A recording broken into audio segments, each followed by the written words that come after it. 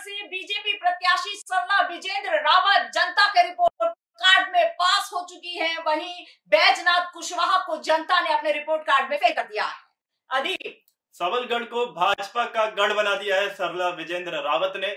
एक अच्छी जीत अर्जित उन्होंने की है और इस लहर में एक और बड़ी सीट का नाम भाजपा के आंकड़ों में जुड़ गया है। जी हाँ बीजेपी प्रत्याशी सरला विजेंद्र रावत हम आपको 2534 वोटों से जीत दर्ज करा चुकी है। जनता के रिपोर्ट कार्ड पर खरी उतरी है।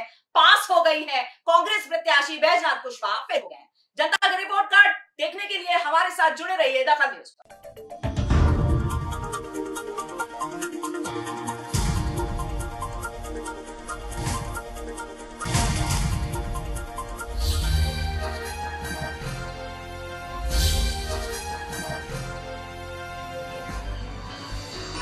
आप देख रहे हैं दखल न्यूज़।